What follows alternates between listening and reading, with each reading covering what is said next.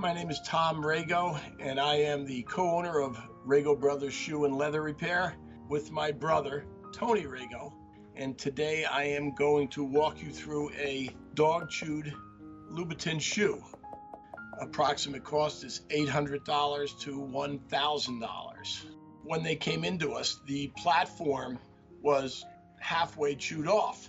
The top of the shoe wasn't there, and the heels were all chewed, all had bite marks on it. And you would think that this was an unrepairable shoe. We are going to attempt to rebuild the platform of this shoe, the upper part, the black patent leather, and get the structure back to the shoe.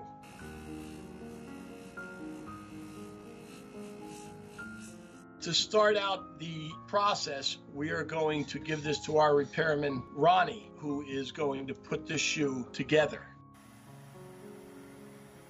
We are using the heat gun to remove the platform, very carefully trying to loosen the glue between the shoe and the platform. We now are putting the platform down on the table and taking a piece of bonded leather and tracing out the platform so that we can make a mold for the other shoe.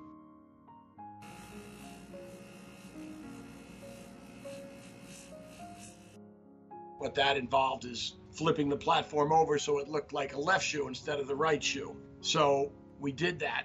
We took our measurements.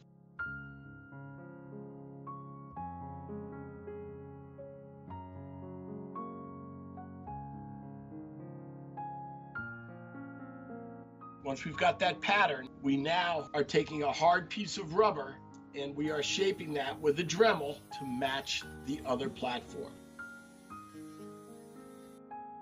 The platform, when you get it from Louboutin, it's a molded plastic base. Molded plastic is not available to us, so we cut it out of a very rigid piece of rubber. And we had to sand it to make the exact curves that it needed to have to fit the upper part of the shoe.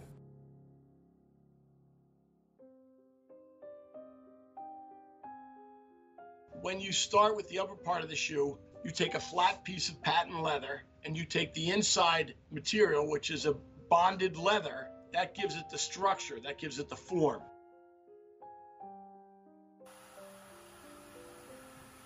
What we're doing now is we're heating up the leather on the platform so that we can stretch it, make it more malleable, so that it has no creases in it. And then we pull it and attach it to the platform. So now we have the top shape of the shoe. After we've gotten that, we begin to form it to the platform underneath.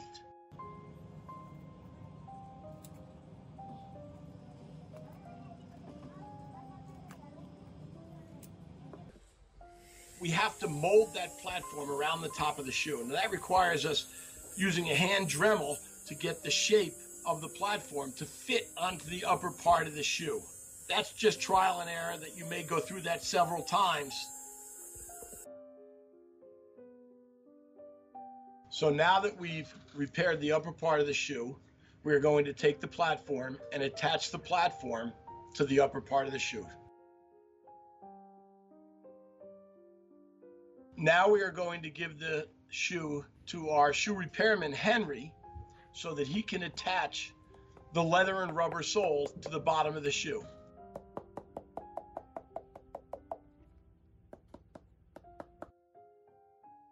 Now what we're doing is we're attaching the red sole onto the bottom of the shoe.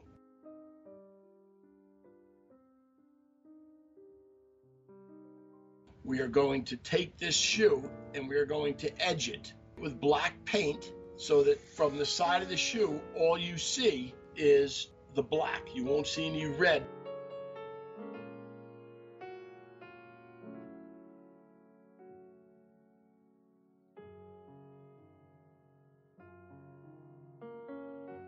This shoe was really a challenge for us, and we think it came out really great. We think that when the owner does get this shoe back, her mouth is going to drop.